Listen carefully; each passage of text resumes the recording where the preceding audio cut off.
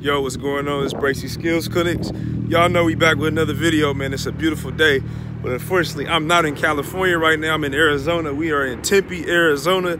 Today, Arizona State will be playing home football game at about 2.30. So the energy and the atmosphere around here is crazy. Uh, speaking of Arizona, we know the Phoenix Suns went to the finals last year with Chris Paul. Okay, so I'm gonna get straight to the point on what this video this is what I want to know. We know Chris Paul. Some people debate and say he's top five, which you know I have no problem with. I, I actually think he is. He is top five all-time point guard. But what I want to know, if Russell Westbrook wins a ring this year with the Lakers, where's Westbrook on that point guard list?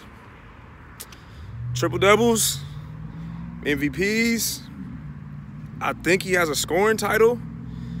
And if he wins a ring, it's not too much Westbrook hasn't accomplished other than winning a championship. So that's my question to y'all.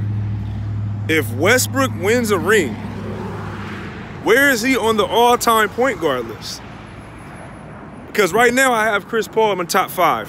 You know, of course, you got Magic, you got Steph, I think IT, Zeke.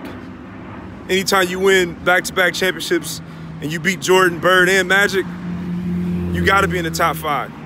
So you got, you know, you got Magic, Steph, uh, Chris Paul, Isiah Thomas. The fifth one is very, very debatable in my opinion. You can go with Jay Kidd. You can go with Stockton if you're a pa real pa pass first point guard, floor general type. You can go with Stockton or Kidd, you know. Or some people may say Westbrook is already in the top five. But all I'm saying is, like I said, I'm gonna get back to the original question. If Westbrook wins a ring, where is he on the all-time point guard list? Y'all drop that comment, man, and give me y'all opinion on where y'all think Westbrook would be if he wins a ring. We out.